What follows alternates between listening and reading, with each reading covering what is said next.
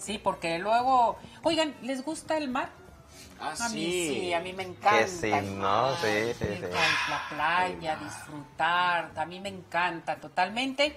Pues les quiero decir que hoy es el Día Mundial del Mar. Vamos a esta información. Adelante.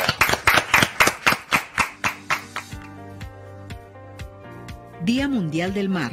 Con el fin de promover el mayor cuidado de todos los mares en el mundo, el Consejo de Administración de la Organización Marítima Mundial estableció en 1978 que cada 17 de marzo se conmemore el Día Marítimo Mundial, más conocido como el Día Mundial del Mar. La fecha tiene como objetivo crear conciencia sobre la seguridad y prevenir la contaminación marina, la que prolifera en la actualidad más que nunca en la historia de la humanidad. Las estadísticas más recientes señalan que los desechos sólidos o basura marítima han incrementado en los océanos, haciendo que la vida de los peces y demás especies se vean sometidas a los riesgos por la alta contaminación. Cada año diversas organizaciones del mundo hacen énfasis en la necesidad de preservar la vida marítima, pues la contaminación ha afectado la supervivencia de las especies del océano. El Instituto de Investigación para el Desarrollo dio a conocer que 1.5 millones de aves, peces, ballenas y tortugas mueren al año por desechos plásticos y que esta situación podría podría agravarse.